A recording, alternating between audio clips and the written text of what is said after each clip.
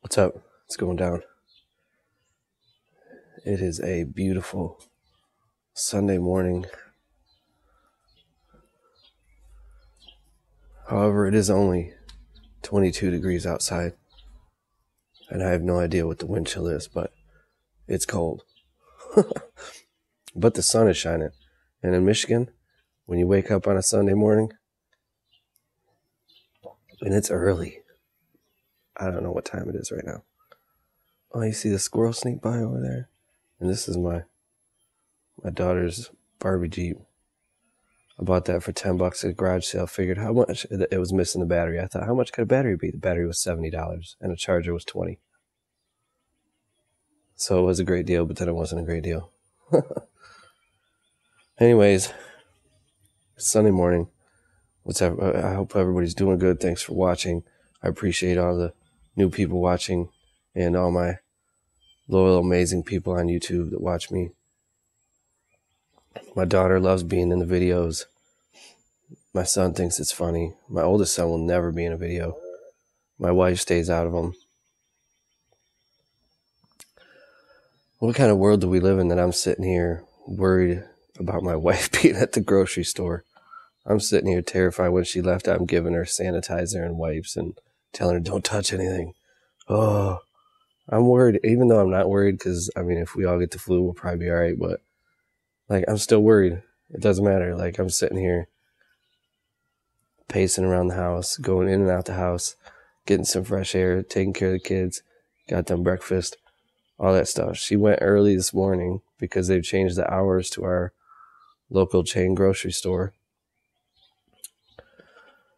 And so she wanted to get there right when it opened because you know stuff's been out of stuff right? They've been out of things right? So we need we need things. She had to go to the grocery store. Would i rather us not go out in public and be around people? Yes but we there's stuff we need. We're a house of five three kids.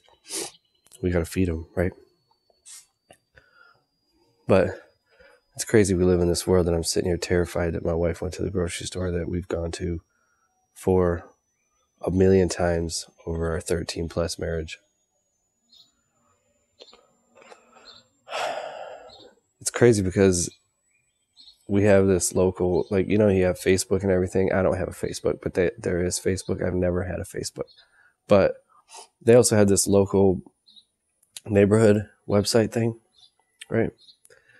And so these locally you know there's these people that get on there. There's people literally that because everybody hoarded all the toilet paper there's people asking for help with toilet paper asking if they can buy toilet paper from each other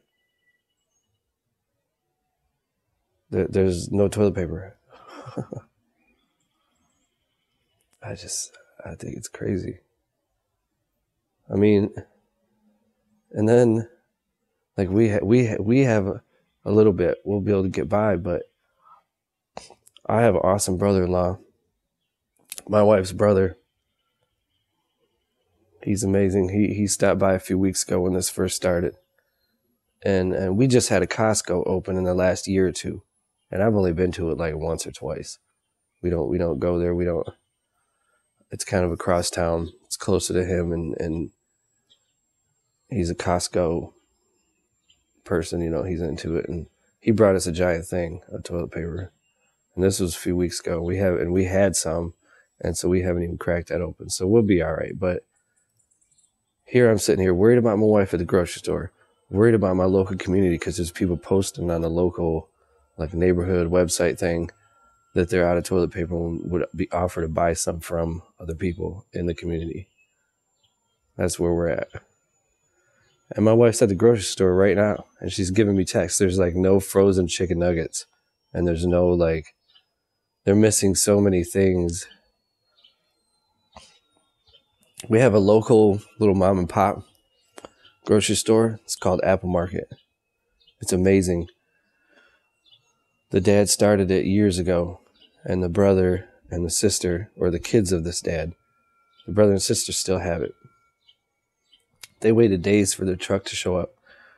And what did these owners do? They made sure that all the employees could at least reserve some some TP before they put any on the shelves. They made sure that all of their employees were able to reserve at least a small you know, stash of TP before they put any of it on the shelves, the tissue paper. I think that's pretty solid. Anyways, I'm sitting here worried about my wife at the grocery store because I don't want her to touch anything and get us all sick and and it's crazy people are having to ask each other in the community if they can buy some TP from them because they're out and the stores don't have any. And some people can't just get out and just get some. But at least there's this little small store here it's still a mom and pop they're rare it's a grocery store. I love going there i fre- frequent it it's two blocks away. Well i don't know it's 10 blocks away. But anyway be safe. Love each other appreciate each other. Take care of them kids